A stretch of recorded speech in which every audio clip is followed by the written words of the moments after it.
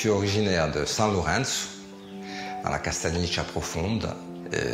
C'est là que j'ai vécu mon enfance, jusqu'à l'âge de, 10 ans, où euh, nous avons dû, avec mes parents, migrer sur Bastia pour une cause professionnelle. Disons, mon père est enseignant, il a eu sa mutation pour Bastia. Mon parcours, c'est un, parcours tout à fait banal.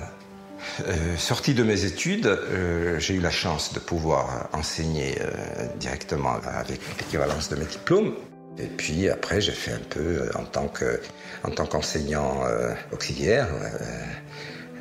j'ai été un peu baladé un peu partout en Corse, y compris à Ajaccio, Finosel. Et puis j'ai fini ma carrière à, à Cervione. Francis Vincenzini peint depuis 50 ans.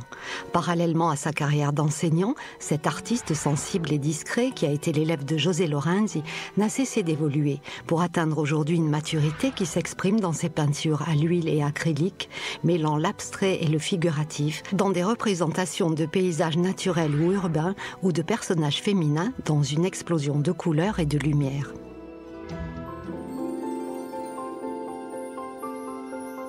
Je me suis mis euh, à, m'intéresser euh, à tout ce qui touchait à la peinture.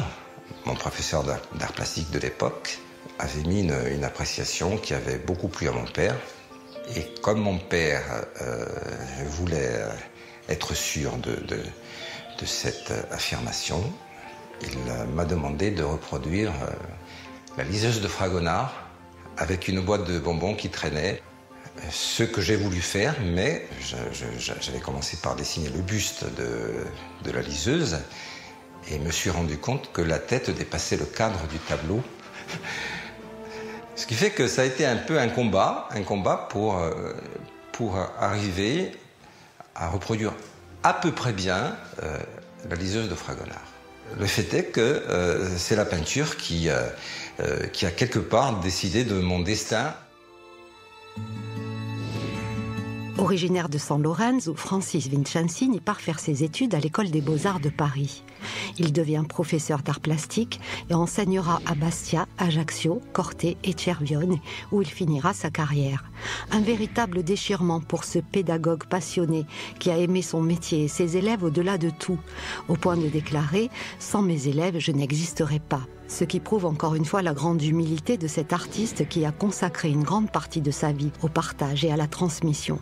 D'ailleurs, le mot artiste le dérange, il préfère se définir comme un apprenti qui se nourrit de ses erreurs. S'il n'enseigne plus, sa créativité ne s'est pas tarie pour autant. Francis Vincenzini peint toujours avec autant d'inspiration depuis plus de 50 ans. Le pied dans l'éducation nationale a été une révélation. Je ne me suis jamais levé le matin en me disant va que j'aille travailler. Euh, non, j'ai eu la chance de, travailler avec un outil, c'est pas péjoratif, hein, euh, que sont les élèves, mes élèves, que j'aimais beaucoup et qui m'ont apporté énormément.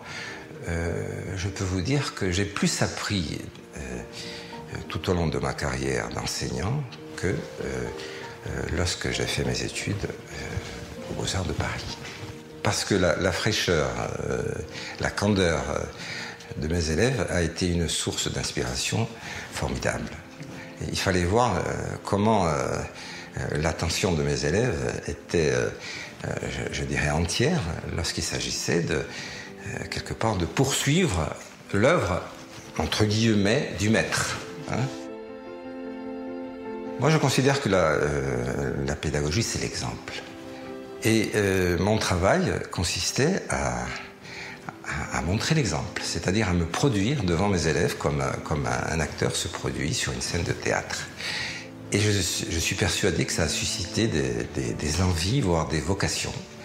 Euh, après, j'ai des leçons de donner. Je n'ai aucune leçon à donner à quiconque. Hein. Euh, encore une fois, je, le redis, la peinture ne s'enseigne pas c'est personnel. Comment voulez-vous que je vous enseigne quelque chose qui, vous est euh, intime et personnel hein? Ce serait présomptueux de ma part, non. Euh, euh, le, seul conseil, si j'ai un conseil à donner, c'est lâchez-vous, lâchez-vous. Hein à mon niveau, l'art, ça aide à, se construire, euh, ça aide à relativiser euh, tous les écueils de l'existence, euh, en partant du principe que tout artiste est, quelqu'un de sensible. Qui, dit être sensible dit être qui a des difficultés à résoudre ses problèmes, si minimes soient-ils. Et je crois que le fait, de pouvoir projeter ses états d'âme, sa sensibilité sur une toile, quel que soit le résultat, on s'en moque, euh, je crois que c'est le but euh, ultime de la peinture.